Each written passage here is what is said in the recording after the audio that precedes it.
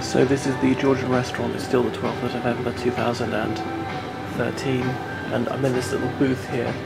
It's all little booths, really. I really like little private thing. You can get private room in other restaurants for no extra charge. Udali, and there's a Georgian woman who runs it. Very agreeable. I don't know. She's maybe 55 or something. She smokes kind of hefty. You can tell she's quite broad-minded and not Muslim. In fact, she smokes. Well, very few women in this country smoke. They think you can wear what you want, up to a point. They show a lot of leg, they never show cleavage.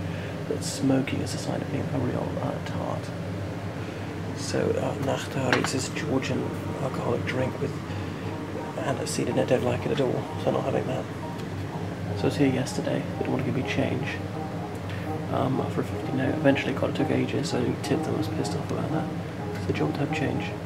So I was reviewing some of my films from earlier this year, put them on Facebook and uh, I realise the thing is I don't um, I don't focus on one thing for long enough because I know what I'm looking at. I've seen it with my eyes before I view with the camera, but then it's very annoying as a viewer the camera to be moving all the time because you're thinking, what am I looking at?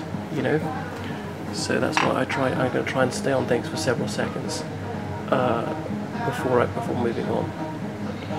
Okay, so that's about enough at the moment. I was going around this cap as my disguise partly because I never wear headgear. It's waterproof, the one I was ready today, very good weather. But to put it low over my face to hide my uh, visage in case I see former colleagues.